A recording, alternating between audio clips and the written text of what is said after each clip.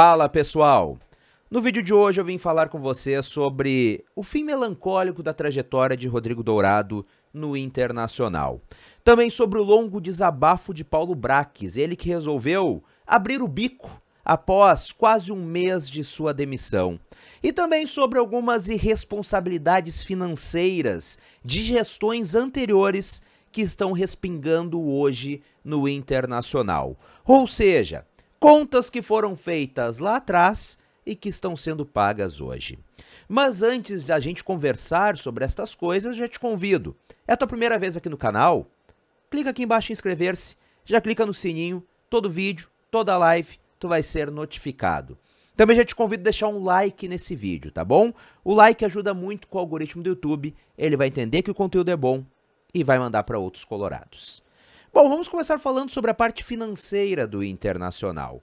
Pois, se tu acompanhou as notícias hoje nos principais portais esportivos do Rio Grande do Sul, tu deve ter te deparado com a notícia apurada primeiramente pelo Rafael de Vério de GZH de uma dívida que a atual gestão teve que pagar de um jogador que sequer jogou no profissional do Internacional. Estou falando de Bruno Sabiá, ele atuou no Sub-23 do Inter entre 2013 e 2015. Ou seja, no mínimo uma dívida que já perdura ali por 8, 9 anos. O Bruno Sabiá entrou na FIFA, cobrando do Internacional uma dívida de 3 milhões de reais. Ou seja, dívida que está sendo paga somente agora com parte do dinheiro da venda de Yuri Alberto. Então, o Internacional, a atual gestão, pagou, esse é somente um caso, uma dívida de um jogador que sequer jogou com o profissional do Inter e que se arrasta no mínimo oito ou nove anos. E este não é, obviamente, o, o único Uh, o único problema financeiro ocasionado por gestões anteriores. Nós temos muitos outros, contratações equivocadas a preço de ouro, e eu quero citar somente um caso: o lateral Natanael. Todos sabem que o Natanael teve, quando chegou no Internacional, um salário muito alto, mas nunca vingou. Na temporada passada, ele jogou no Atlético Goianiense, emprestado pelo Inter. Mas pouca gente sabe que o Natanael segue no Internacional. O Natanael, neste momento, tem treinado em separado no Internacional, em horários alternativos ao restante do elenco, porque, obviamente, não será utilizado. Mas aí nós temos um problema. É um jogador com contrato, com salário altíssimo, que chegou a ser terceiro reserva do Internacional e que hoje está aí treinando em separado. O Inter não consegue mais emprestar o jogador, pois tem um salário muito alto. Então o Inter segue arcando com estes custos de um jogador que não está sendo aproveitado. Este é somente mais um caso. O Natanael, por exemplo, tem contrato até junho, até o final de junho deste ano com o Inter. Não é à toa, gente, esta dívida que o Inter acumulou nos últimos anos. Também vim falar com você sobre Rodrigo Dourado. Dourado que é um cara que eu sempre torci muito, é um cara criado no Internacional e eu não tenho dúvida do coloradismo dele, mas que está tendo um final de trajetória melancólico no Inter. Ele que estreou como profissional no Internacional há 10 anos, fará 10 anos este ano, e hoje perdeu espaço no Inter. E eu não estou aqui culpando o treinador A ou B. Dourado perdeu espaço simplesmente porque não encaixa mais no time do Internacional. Ao meu ver, já não encaixa mais no estilo de volante que o futebol atual, futebol mais moderno, precisa. Infelizmente, não é o mesmo Dourado antes daquela grave lesão, que era um dos melhores volantes do país. Com isto, acabou infelizmente pegando implicância de grande parte da torcida, bronca de, de grande parte da torcida e hoje está virando até terceira opção no Inter. Por que terceira opção? Porque nos treinos, Lisiero, que hoje é a primeira opção na volância, foi testado como lateral esquerdo, assim como jogou no Clássico Grenal, já que o Inter não tinha Moisés nem Paulo Vitor.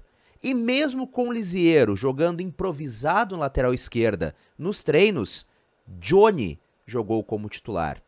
Ou seja, Johnny hoje é a primeira opção do banco teoricamente. Ou seja, Dourado hoje não é nem a primeira opção no banco de reservas. Rodrigo Dourado não está mais nos planos do Internacional e o Inter agora procura um clube que o queira. Infelizmente, fico triste porque, repito, É um jogador oriundo da base do Inter, colorado desde criança, mas ciclos se encerram, assim como eu acho que deveriam se encerrar de outros jogadores, o do Dourado também se encerra. Infelizmente, de forma melancólica. Hoje, convenhamos, Rodrigo Dourado atrasa o meio-campo do Internacional. E por último, nesta quarta-feira, Paulo Brax acabou fazendo um desabafo em suas redes sociais. Ele que estava quieto desde sua demissão no dia 4 de março deste ano, resolveu desabafar, falar sobre a sua saída. Foi um desabafo longo, foi um desabafo pesado e com críticas a quem está à frente do Internacional. Obviamente, para não ficar muito maçante, eu não vou ler aqui para vocês, mas vou resumir. Ele basicamente disse que o trabalho foi bem feito, que o Internacional poupou dinheiro como precisava, priorizou alguns tipos de contratações que não eram caras e colocando o equilíbrio financeiro do clube à frente do desempenho esportivo, porque era necessário naquele momento. Também falou sobre o aproveitamento dos jovens, enfim, ele citou que o trabalho foi bem feito, pelo menos de sua parte, e disse que lamenta não poder ter ficado para usufruir os frutos de seu trabalho. Ele também questionou até onde vai o projeto do Internacional. Afinal, qual o limite deste projeto? Uh, Paulo Brax também acabou, acabou dizendo que sai decepcionado com a política do Internacional. Paulo Brax disse que sai decepcionado com pessoas de dentro do clube que, segundo ele, priorizaram muito mais opiniões externas, vozes externas, e aqui eu entendi o quê? opiniões da torcida e também de jornalistas do que o trabalho que estava sendo feito internamente no Internacional. Paulo Braques então diz que lamenta e sai decepcionado por não poder dar continuidade ao projeto para o qual ele foi contratado. E sinceramente, minha gente, eu entendo, inclusive vários de vocês comentam aqui, eu leio os comentários de vocês, vários de vocês comentavam por aqui de que Paulo Braques era lento, alguns chamando ele de Lesma Braques nos comentários por aqui, mas eu acho que o buraco do Internacional é muito mais embaixo. O problema do Internacional é muito maior do que o Paulo Braques. E acredito de verdade que Paulo Braques serviu como boi de piranha porque a torcida precisava de uma resposta após a eliminação vexatória para o Globo. E sobrou para ele. Acabou sobrando para ele ser demitido.